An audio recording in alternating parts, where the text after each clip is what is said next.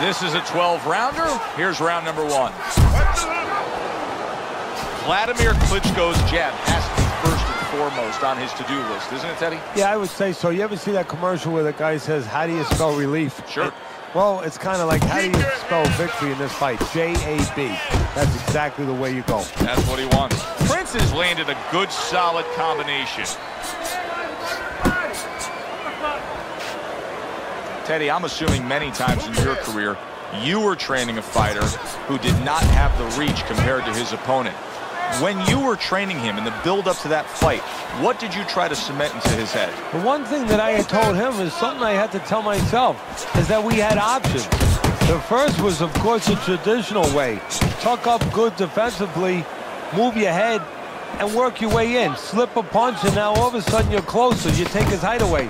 The other is to step up and get sort of entice the taller fighter to come in and be short. Vladimir Klitschko's corner better explain to him clearly why he lost that last round. His accuracy was way off. Well, if you're looking to find... A rousing left hand by Prince.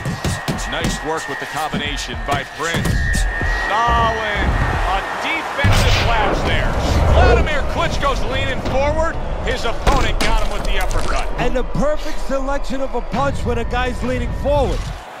One, two, three, four, I give him a lot of credit for even getting up from that knockdown, but he still has to impress and move forward here. Yeah, I applaud him. I give him credit, but I also recognize that he's in good shape. That's one of the reasons he got up. Prince's puts forth a little boom, boom, boom, a three-punch combination score. There it is!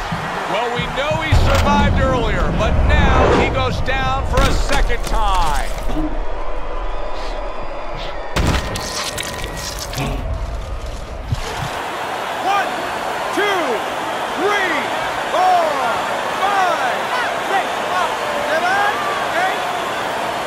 Vladimir Klitschko's corner needs to really get to their man after this round. They need to treat him after that knockdown. They also need to give him some sound advice.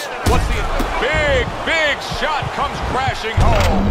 Wow, he goes down again. This is going to be called the elevator fight. Up and down all night.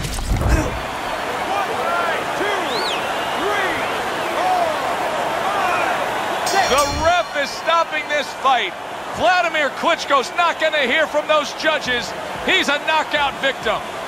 Ladies and gentlemen, by knockout, your